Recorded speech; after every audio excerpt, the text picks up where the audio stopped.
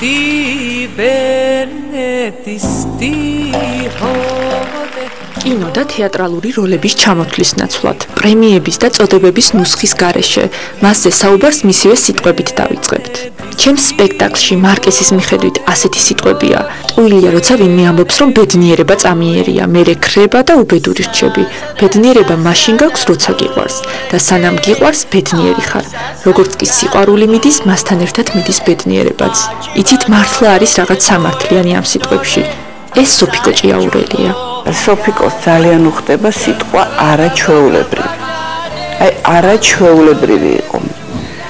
ყველა მხრივ, როგორც არტისტი, როგორც ადამიანი, როგორც დედა, როგორც მეუღლე, როგორც აა სანტექნიკოსი, როგორც მეტლახის დამგები, საოცარი ადამიანი იყო და იცით რა რა ქონდა კიდე საოცარი შეიძლება ეს რაღაცა მომენტში უარყოფითიც იყოს იმიტომ ყველაფერს თავის თავზე იღებ ყველაფერი თვითონ და გაეკეთებინა. ყველგან თვითონ და წასულიყო ყველაფერი მოეტანა ბაზარი იყო ეს თუ ბაზრობა დედოფალი იყო ბაზრობის? არასდროს არაფერი არ ეზარებოდა. ან არ შემიძლია ან დავიღალე ოხსაც შემიძლია არ არსებობდა. მაკა მახარაძემ გაიხსენა ერთ-ერთი შემთხვევა როგორ ემზადებოდა სოფიკო ჭიაურელი კოტე მახარაძის იუბილესათვის. ურეკავდა ვეუბნებდი სოფიკო რამეში დამიხმარე.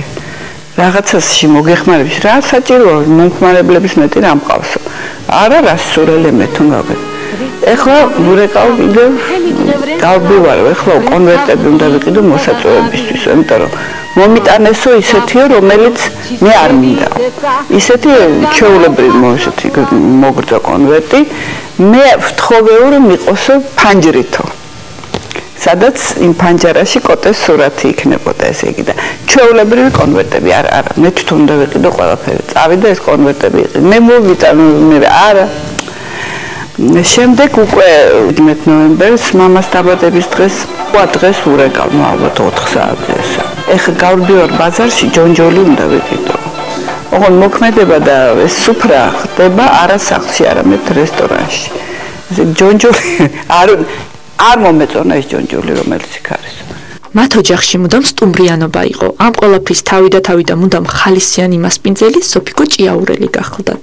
მამას დაბადების დღე ძალიან უყვარდა კოტესაც უყვარდა თავის დაბადების დღე და სოფიკოსაც უყვარდა როდესაც მას ასიამოვნებდა ისევე როგორც კოტე ასიამოვნებდა ხოლმე საოცარ სიურპრიზებს უწყობდა 21 მაის სოფიკოს დაბადების დღეს საოცარ რაღაცებს აკეთებდა მთელი ზოოპარკი ხომ სახში ყავდა მე მგონი აებს რასარ ჩუქნი და იმეს ფარშევანგებს და ერთხელ მოუყანა ჩოჩორი პატარა. იკარგე გოგო.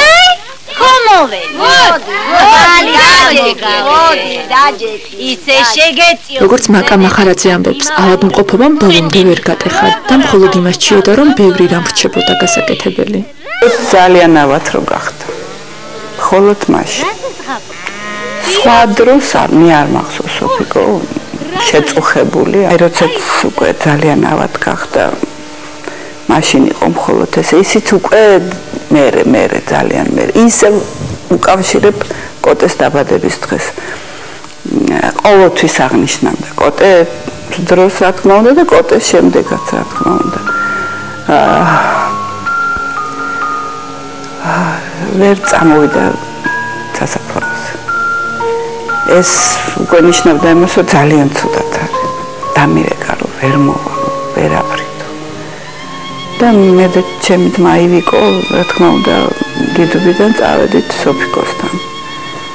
და გამოვიდა, გახედა კოტეს სურათს და ვერძლებ ხო ჩემოთ ბიჭო. ზანის ხაშმედი. დედის დახასიათება უჭირს, მაგრამ მაინც ამბობს, რომ სოფიკო სამაგალითო დედა იყო.